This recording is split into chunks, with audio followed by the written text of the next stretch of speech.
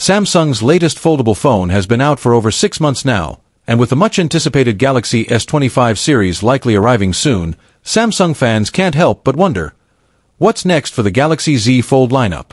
Will the Z Fold 7 live up to the hype, or is its reign over foldables coming to an end? Let's dive into everything we know so far about Samsung's next big foldable. Before we look ahead, let's briefly touch on the Galaxy Z Fold 6.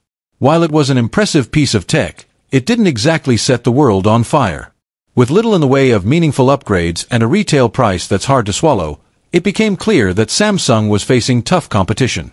OnePlus, Google, and even Honor are stepping up their game. But, if you're all about that Samsung software experience, the Z Fold 6 still shines in that department. So, when can we expect the Z Fold 7?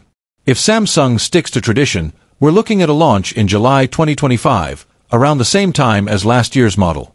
This gives Samsung some breathing room before the fall rush of new phone announcements, and of course, plenty of time for more leaks and rumors to surface. Now, let's talk design.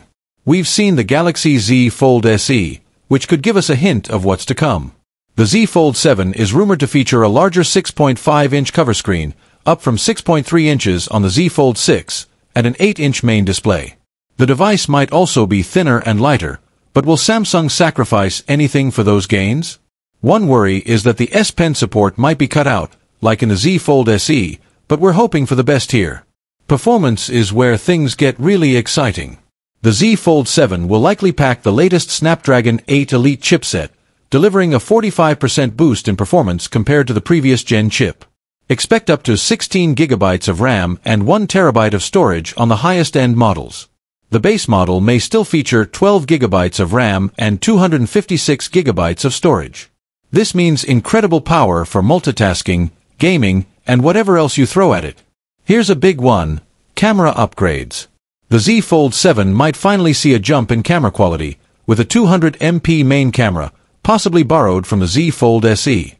We're also expecting the usual 12MP ultra-wide, 10MP telephoto with optical zoom, and a 10MP selfie camera on the cover screen.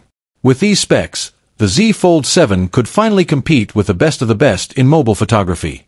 Battery life is always a hot topic, but here's the scoop. We're likely looking at the same 4,400 mAh battery as the Z Fold 6. While we may not see any huge changes in battery size or charging speeds, we're sticking with 25W wired and 15W wireless charging, the improved power efficiency of the Snapdragon 8 Elite could help extend battery life slightly. But will it be enough for the larger screens? We'll find out soon.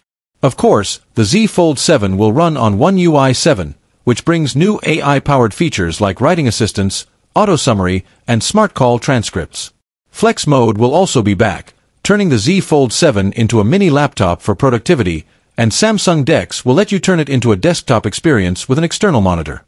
For anyone who loves the S Pen, we're likely going to see support for that as well. Now, the big question, how much will this all cost? Given that Samsung has been struggling with Fold sales, it's unlikely that we'll see a massive price hike. But with the Snapdragon 8 Elite pushing up component costs, the Z Fold 7 could end up being more expensive. Expect it to start around the same $1,799 mark as the Z Fold 6. For now. So, should you wait for the Galaxy Z Fold 7? If you've been craving a wider, more traditional smartphone experience when the device is closed, this could be the perfect upgrade for you. But if you already own a Z Fold 5 or 6, or even the Pixel 9 Pro Fold, you might not get much more than a design refresh and some incremental improvements. That's all for today. Stay tuned to TechVerse for all the latest leaks, rumors, and updates on the Galaxy Z Fold 7 and much more. Don't forget to like, comment, and subscribe for the inside scoop on all things tech. Catch you in the next one.